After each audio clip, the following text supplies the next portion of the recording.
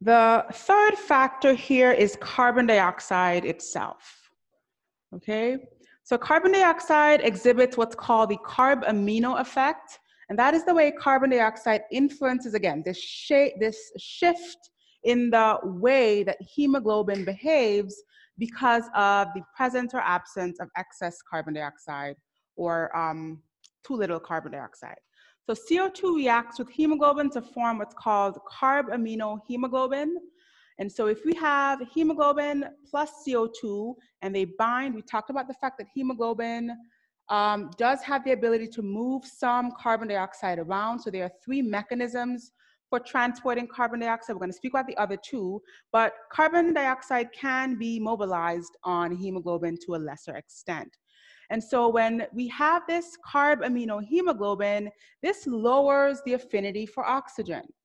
Okay, so basically the big picture here is that in excess uh, states, or if there's excess carbon dioxide, hemoglobin does not want to bind onto oxygen. It wants to let it go or to dissociate it okay? So this again is, is, is aligning with that increase in metabolic activity. Remember, CO2 is a byproduct of respiring tissues. And so the more we have metabolic activity, the more CO2 will produce as a byproduct. And that'll shift our curve left or right. Right, right, right, right. Right, right, that'll shift our curve to the right, right? So again, aligning with that increased metabolic activity created by having more CO2. And if you think about the underlying physiology here, if tissues, again, are respiring more, are absorbing more CO2, are produce, absorbing more oxygen, producing more CO2, then we don't want oxygen to be very tightly bound to hemoglobin. We want it to be loosely bound so that it can dissociate off very easily to match the demand of those respiring tissues, okay? Okay,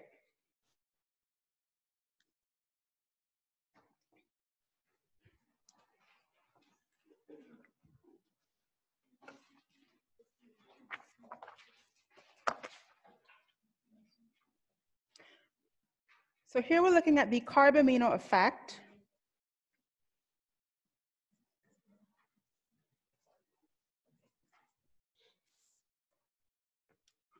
Is that a question or oh, stretching? Okay, it's okay. Um, any questions at this point? I hope I'm not going too fast. Okay, so the carbamino effect is where we looked at the fact that hemoglobin had this ability to bind CO2 and again, this is a reversible reaction, so we can bind it on. This gives us carb hemoglobin. Uh, yeah. We call this carb amino hemoglobin.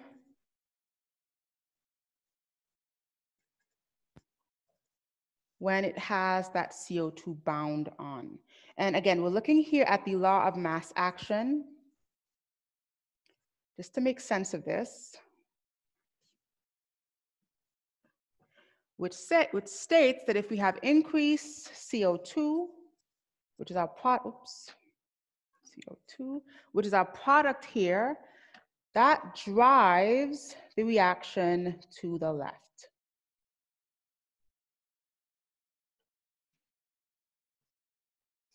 Okay, and again, if we are driving the reaction to the left, we're simply dissociating oxygen off from hemoglobin, okay?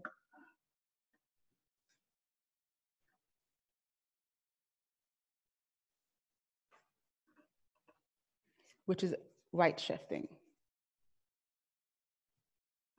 Okay, so this is also aligning with that increase in metabolic activity. And we'll just illustrate that here. Although this should be very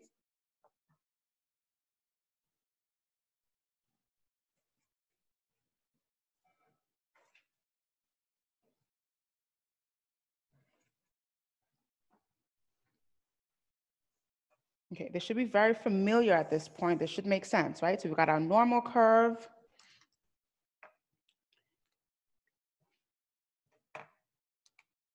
We've got our right shift. And we've got our left shift. So shifting to the right is caused by an increase in CO2.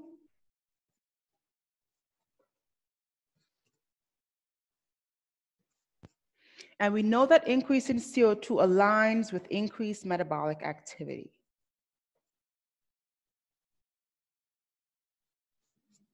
Okay. And then decrease in CO2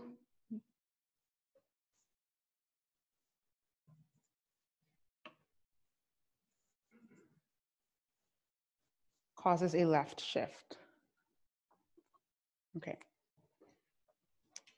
So, so far we've talked about quite a few factors that influence the way hemoglobin behaves. We're gonna talk about one more factor, but so far we talked about temperature. So increase body temperature. We talked about partial pressure, right? Increased partial pressure.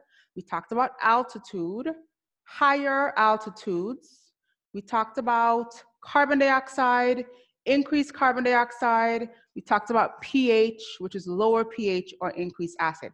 Those factors shift our curve to the right. And all of those factors align with increase in metabolic activity, okay? And then uh, factors that shift to the left were uh, decrease in temperature, and then we talked about lower altitudes, sea level and below sea level.